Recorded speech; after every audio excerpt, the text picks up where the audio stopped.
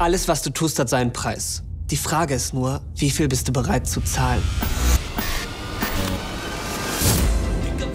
Idol einer ganzen Generation.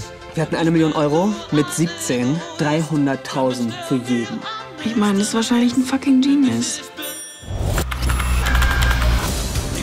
Also dann, auf die erste Million und den Ausstieg aus dem internationalen Drogenhandel. MyDrugs hat so ein enormes Potenzial und es wäre doch schade, das nicht zu nutzen. Die bringen uns um, wenn wir aussteigen.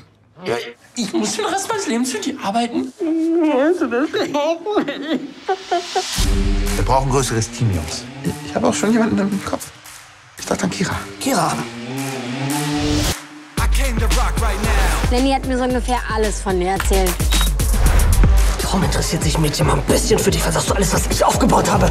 Weißt du, was noch beschissener ist als eine Freundin, die alles über MyDogs weiß? Eine fucking Ex-Freundin, die alles über MyDogs weiß. Was willst du denn hören? Dass ich ein internationaler Internet-Drogenbaron bin, oder was? Du bist was? Was? Nee, bin ich natürlich nicht.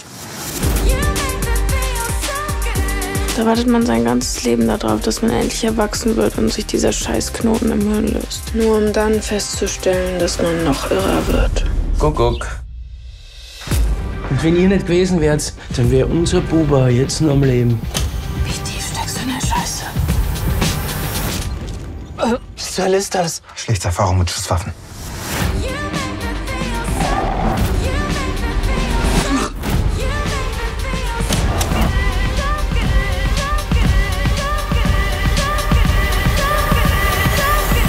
Wenn es einen Knopf geben würde, der alles löscht, was wir jemals gemacht haben, würdest du den drücken?